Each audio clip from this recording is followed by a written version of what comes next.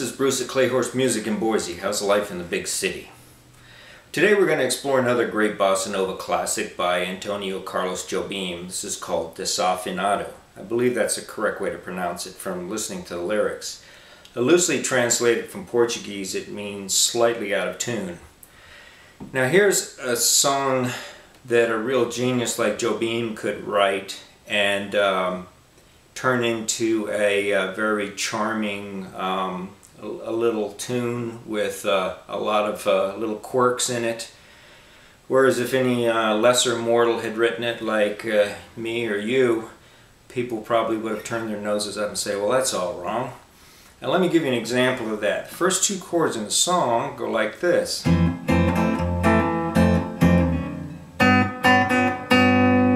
So that already gives you that feeling of dissonance.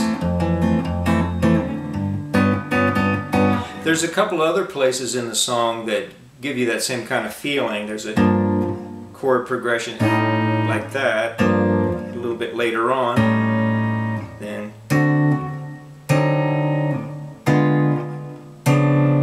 But what's interesting is that he can always manage to resolve it to some very beautiful uh, chords, uh, you know, before and after those dissonant chords, and it just kind of catches your attention. You go, wow, that's really amazing. So anyway, um, what I'm going to do with this song, since in this particular song, the, the lead part is a little bit more interesting than, interesting is maybe the wrong word, but a little bit more complex than some of the other bossa nova songs that we've been studying where the lead parts are extremely simple even though the chord progressions can be rather elaborate.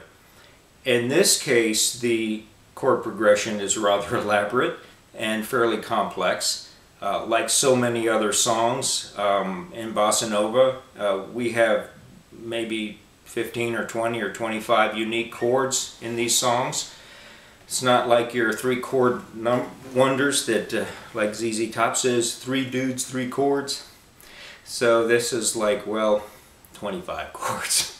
So uh, I think what I'm going to do is I think I'm going to put uh, the chord portion of it, the rhythm portion of it, into a separate video, which could just be like a practice video, and I will make it um, kind of a backing track. But I will also list the chords. And at the end of this video, I will go through the chords slowly, um, just showing you the fingering of the chords, but I won't go into too much depth of the chords because it's just too complex. So uh, this particular arrangement is written in uh, F, F major 7th, and uh, the chord progression comes from this book, which I have recommended previously. And um, the lead part comes mostly from me listening to uh, Stan Getz on the saxophone, uh, and it is just pretty much the vocal part of it without too much improvisation or anything like that. So, let's get started with that lead part. Okay, so here's that lead part. Let me play the first few notes for you here. We're going to be in the fifth position. We're going to cover the fifth, sixth, seventh, and eighth frets. We're going to start out with the first finger on the third string. That's a C. And it's going to go like this. One, three,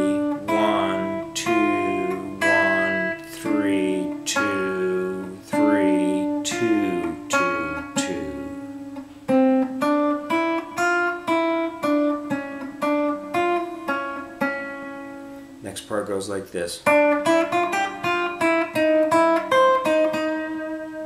That's going to start out on the third string with the third finger.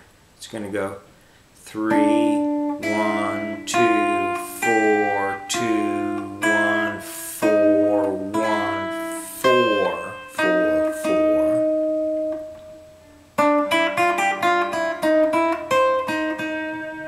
So up to that point, let's play what we've got.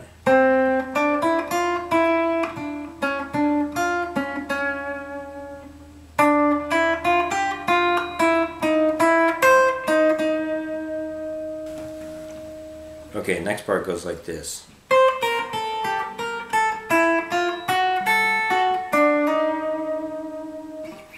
We're still in the fifth position. We're going to start out on the first string with the fourth finger, little finger. It's going to go four, two, one,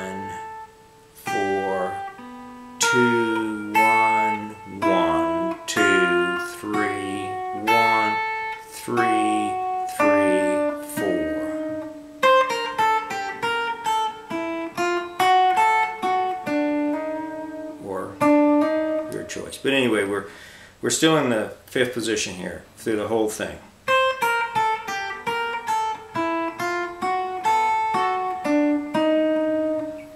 Now the next part goes like this.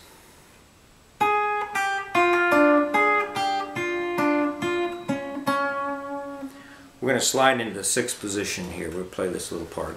Um, and we're going to start out with our little finger on the second string. So that's going to be four, three,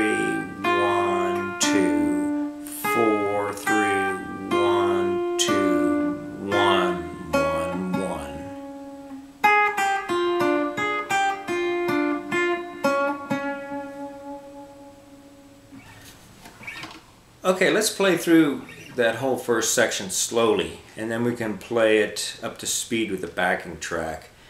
Um, this gives you a feel for the lead through the whole song, really. The rest of it uh, are just basic variations of this uh, first lead part. So we're going to start out on the third string, fifth fret, and we're going to play through that lead part from the beginning slowly, okay? It's going to go.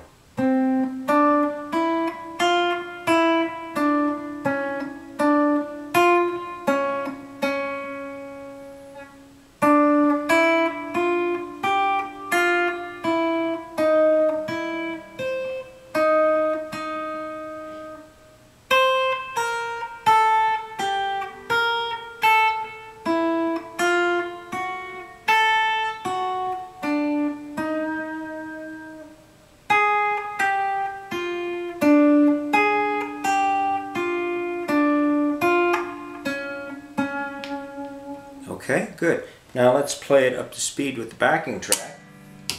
Start the rhythm here so we can count it in and start together. So make sure you're on that C note there to get started off with. Okay, one,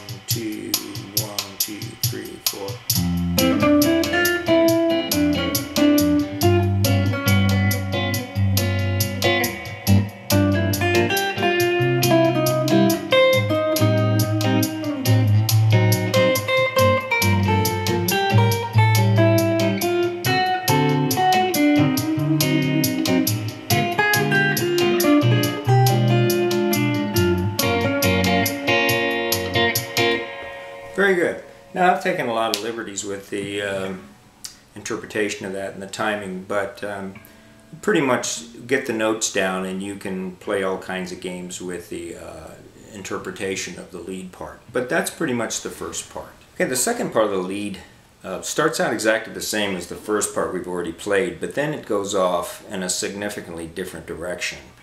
So I'll show you kind of how it goes here. It, it starts out the same, goes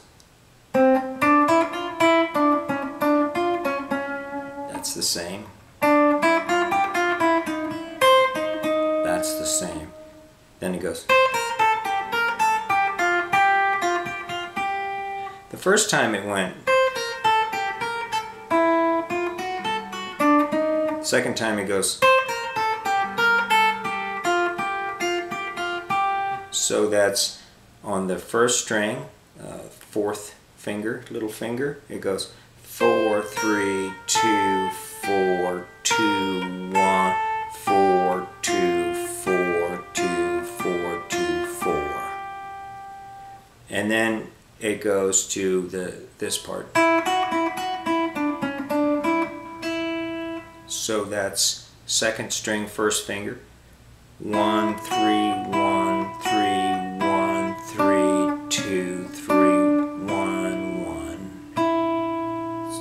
So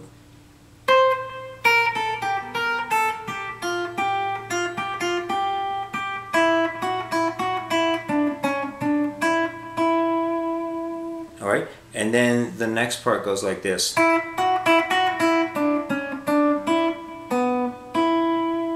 So that's one, three,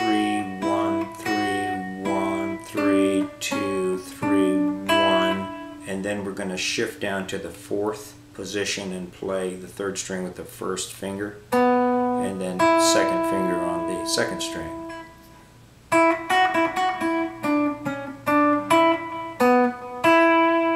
And that sets us up in a perfect position for the next little run which goes like this.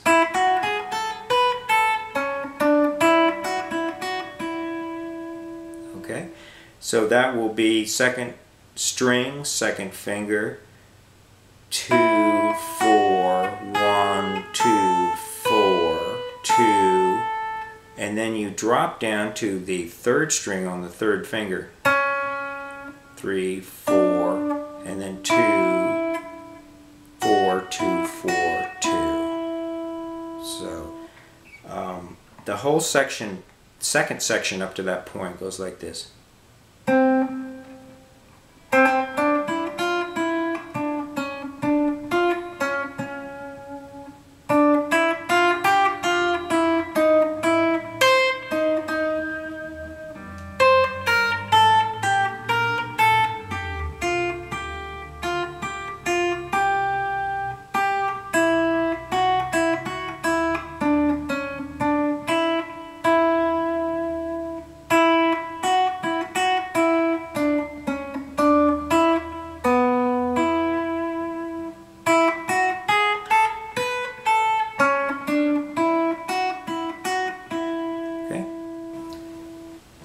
Okay, so out of the last little section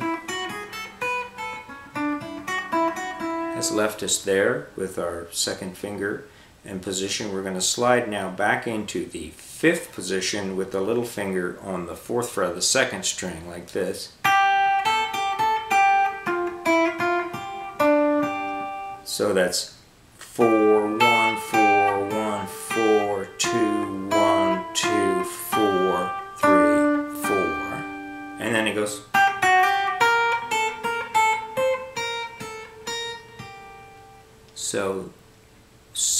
string, four, two, three, four, and then two, one, two. So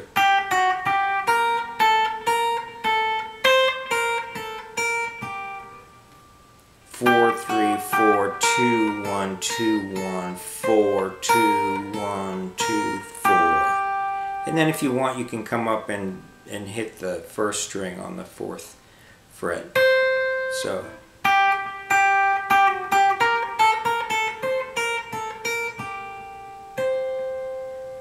And then we're back to essentially the beginning and the end at the same time. We're going to go right back into that C and we're going to wrap it up. Okay, the ending part is really a lot of fun to play. It kind of goes like this.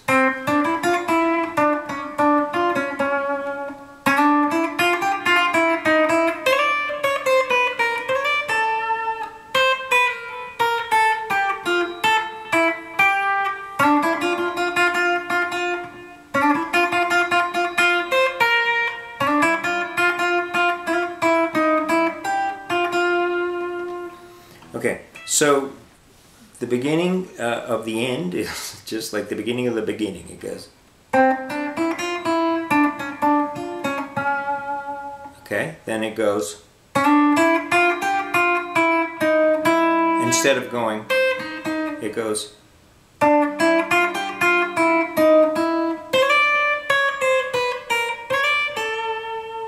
So I like to play it with those slides. I come up with my little finger up to the 10th fret of the first string and it's a chromatic.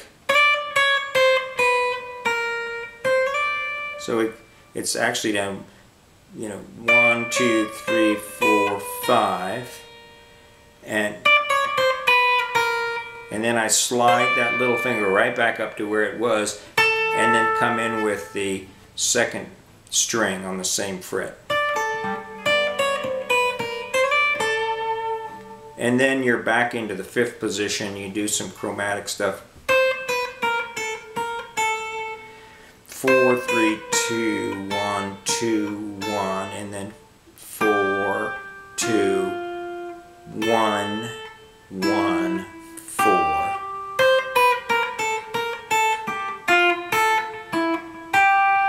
like that, and then it goes. See, on third string, third finger.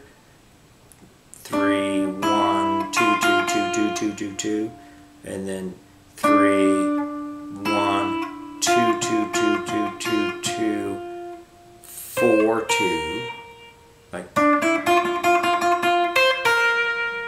and then four, one, two, two, two, two, two, two, two, one, and then this is an important kind of a blues note kind of idea. And here you come in with the um, the fourth fret instead of the third. You could or you could go much better actually the way it's written it goes and it gives you a much nicer feel so one two two two two two two two one four one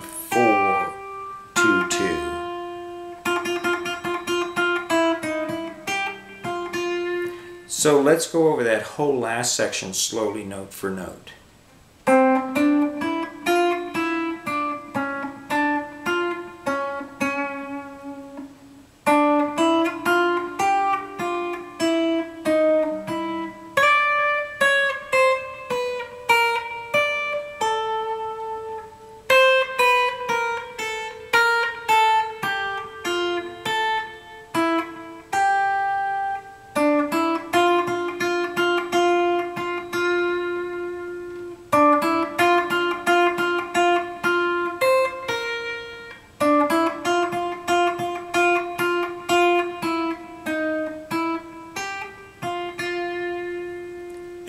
my friends, is pretty much the whole lead. I'm going to record a practice backing track for you so that you can practice this lead in the key of F major 7th. I'm not too sure that you can find something on YouTube that you can use a backing as a backing track, so that's why I'm going to do that. Um, I would just like to leave with one idea that I heard many years ago that I thought was very profound. Somebody told me that anyone who plays guitar, especially lead guitar, should listen and emulate sax players. Uh, my favorite sax player is Stan Getz. And if you listen to some of his lead parts, he'll usually start out with just a very simple melody and then he will do all kinds of variations on it. And I think those are extremely instructive for guitar players. The reason is, is we have a tendency to get stuck in a rut and play the same old blues scales and stuff over and over and all the same cliches that you've heard a million times before. Now, why do that if you have an opportunity to start to learn more of a modal way of playing? I will do some videos that show how to very gracefully break out of the pentatonic and blues scale into some very uh, interesting modal variations that are quite easy to add to your existing uh, patterns. Um, so I would highly recommend that you listen to sax players. The other thing is that I have become uh, much more fond of playing the lead parts separate from the rhythm part, whereas when I used to play guitar professionally and play uh, quite a bit uh, around other people, I used to always try to work out the chords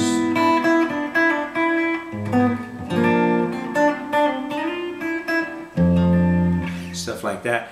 Um, I am leaning away from that now because I feel that that in a way very much hampers your ability to interpret the lead. So I would very much more now like to hear a set of really interesting clean chords with a very uh, evocative uh, melody over them. And you just, very difficult to do both of those things at the same time in the same lead part. So in case you've ever wondered why I always tend to break everything up into a rhythm part and a lead part. That's why. Um, all of these songs have very uh, interesting uh, improvisations that can go with these chords, and we haven't gotten into any of that, and of course it's pretty spontaneous, so it's kind of hard to teach that. But nevertheless, I think that it's another interesting idea to think about. Um, a lot of people feel like they want to play the leads and lead and the chords at the same time, and that's great and that's fine and everything. It's just my own personal taste that I've started to sort of lean away from that. So anyway, just my two cents worth. I hope that you got something out of this video and I will see you in the next video. So have a good day. Take care.